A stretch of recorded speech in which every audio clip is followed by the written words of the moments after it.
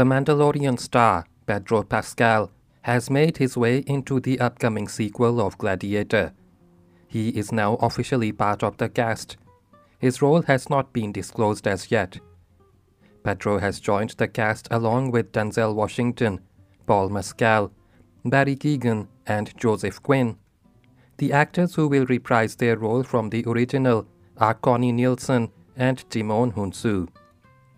The sequel will revolve around Lucius, 20 years after the events of Gladiator, which starred Russell Crowe and Joaquin Phoenix. It will be based in a new time and era of the Roman Empire. Russell has shown interest in reprising his role, but has not yet been contacted, while Joaquin will not be reprising his role at all. The movie will once again be directed by Ridley Scott with a script written by David Scarpa. There are more cast members to join, and the movie is planned to be released on 24 November 2024.